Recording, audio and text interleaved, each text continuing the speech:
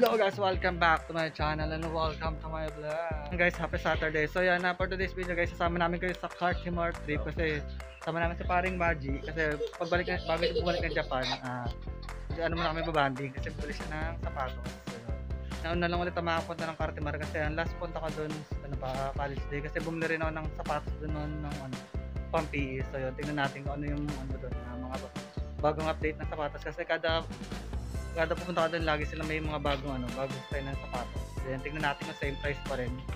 So yun guys, dyan lang kayo samahan nyo kami sa aming ano, party, party mart for today. So dyan na kayo.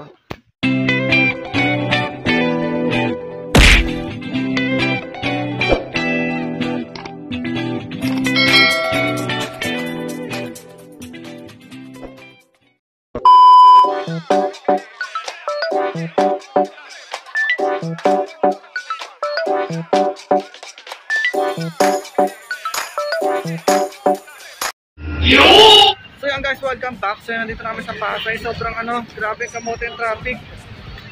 3.30 na kami nakarating dito. So yan ngayon, sasaya, sasaya kami ng jeep pa Cartimar. So dyan lang kayo, kita-kits tayo pag nasa Cartimar, uh, nasa Cartimar na kami. Arat na boy!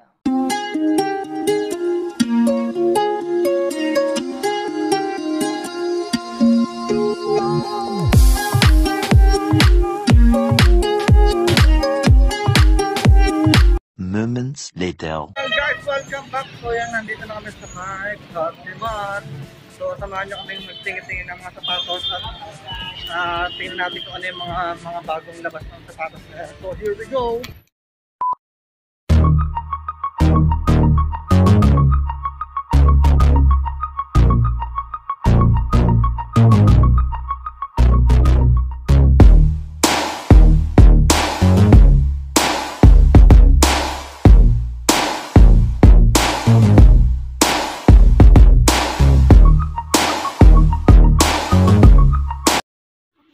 So yan guys, update lang. So nandito na kami sa loob at nagtitingin-tingin si brother Waji ng ano ng sapatos na bibili niya. So ngayon ano lang din ako, tingin-tingin lang din.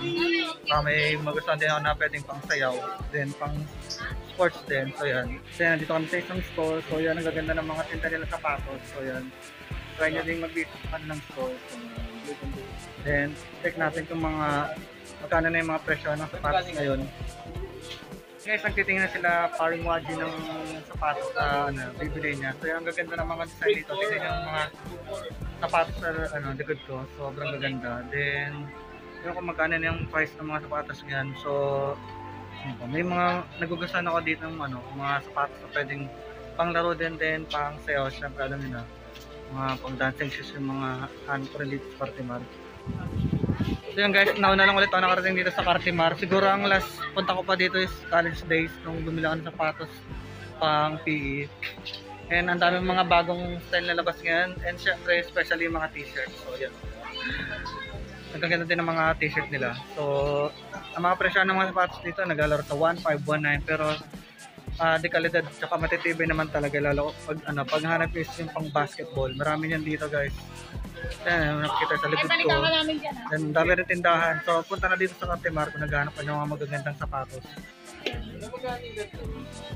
2-1 maganda min ng mga ang gaganda ng mga nila dito mga sapatos mga bagong model. Din iba nandito pa rin lalo na yung mga pang format pang sayaw so yan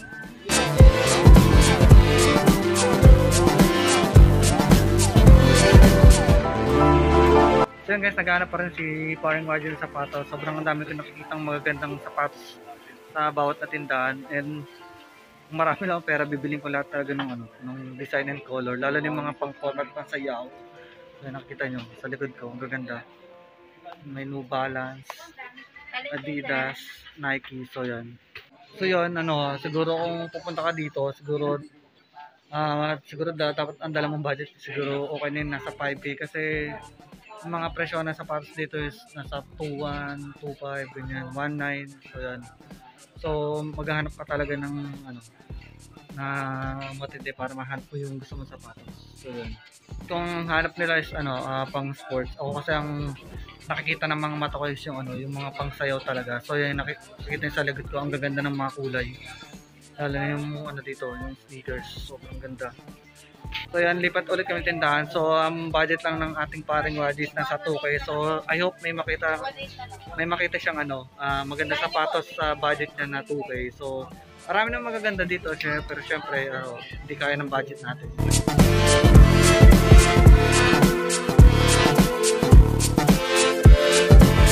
Update lang, so parang may nakita na si paring Waji. Magkano ang presyo niya natin? So, 1.9. So, yan. Pasok sa 2K budget ni paring Waji. At kung ano, ang ganda rin ng design din. Gana. Makikita niyo yung design ng sapatos, ano lang, na two colors lang siya. Black and red. Then, ano men, ma- ano, magaan. Magaan naman dalahin. So, yan, mukhang fitted sa kanya. So, bibigyan niya atin ng 1.8. Ang guys, dapat din ano, marunong din kayo ano, tumawad kahit paano kasi syempre hindi naman gan di gano hindi mura yung mga price ng sapatos dito. At magdadala ka talaga ng isang matinding budget kung naghahanap ka talaga ng magandang sapatos and maganda rin yung design. So yan, tulad ng mga yan. So yan. Ang gaganda ng mga design. And syempre iba, iba-iba mga presyo na yan. So yan guys, dito sa ko makikita may iba't, iba't ibang klase din ng ano, ng ah design ng sapatos. So, yan may Converse dito. Yan may Air Jordan na high cut. Then, may mga pang basketball din. So, importante kung magaan talaga ng sapatos. Siguro, piliin nyo din kahit paano yung magaan din yung masarap sa paa. And syempre, especially yung maganda rin yung design. Yung kahit sa mo pwede i-partner. At ang dami nakita ditong mga magaganda shoes sa store nila ate. So, and I think ang mga price niyan siguro mga nasa ano, mga 2K, mga ganyan.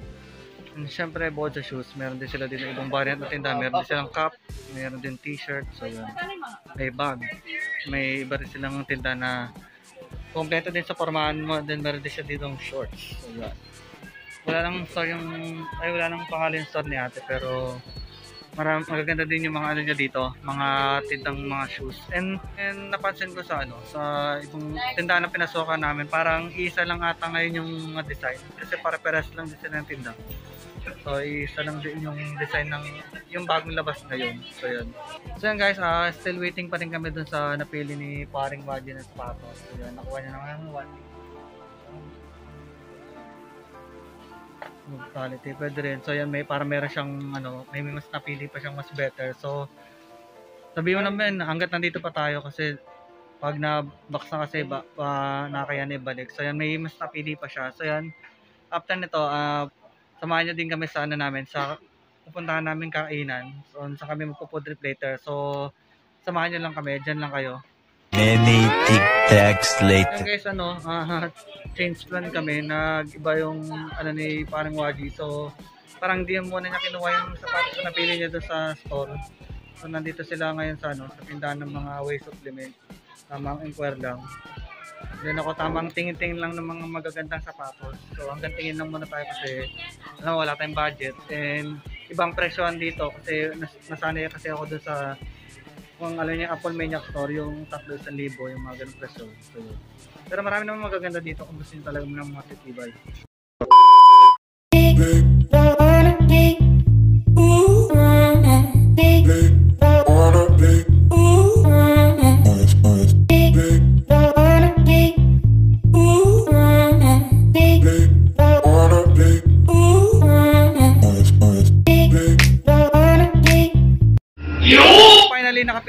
Paring Waji ng kayong sapatos. So, nakuha namin siya ng 1.8. So, yun, 9.5 yung size niya. So, baka maisipan yung bigyan si paring Waji ng shoes. So, 9.5.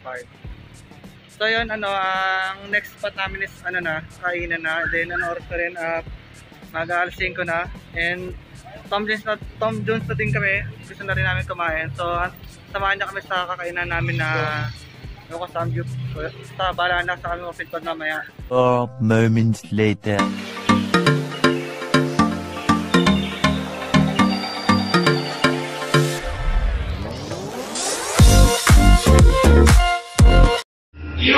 Welcome back. So finally natuntun din namin tong ano na ba to, Wing House Unlimited. Dito yan sa 12th Street, dito yan sa may Villamor. So finally natuntun din namin ilang oras namin ito hinahanap. So alas 8 na ng gabi kami nakarating dito. So yun, ah Di ako makapag-vlog sa loob kasi may sound so iwas copyright lang. So dyan lang kayo kakain lang muna kami saglit and update ko kay mamaya.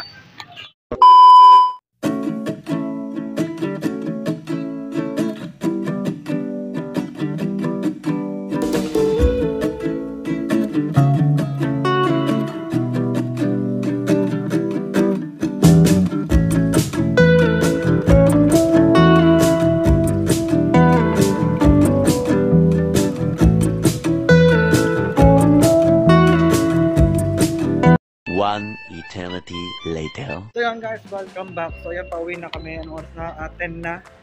So sobrang napatagal yung kain namin. At sinulit talaga namin yung ano, yung Andy Wings and sobrang ano kami ngayon bloated. So yan, ah, dito kami ngayon saan? Sa mga dito sa may simbahan. Yan.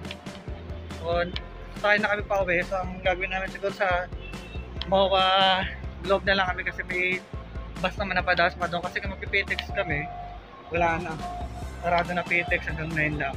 Guys I hope na enjoy yung ano namin yung ah ano ba namin? Ang trip namin mga boys. Ang first time namin itong magala together. So yun. At natin yung ano namin part ng gala. Guys, hanggang dito ko na lang muna tatapusin ang aking video vlog. So after nyo po nitong video na wag, wag na wag na kakalimutan mag like at subscribe sa baba para mas update kayo sa aking mga next video vlogs so hanggang dito na lang muna. Bye bye and stay safe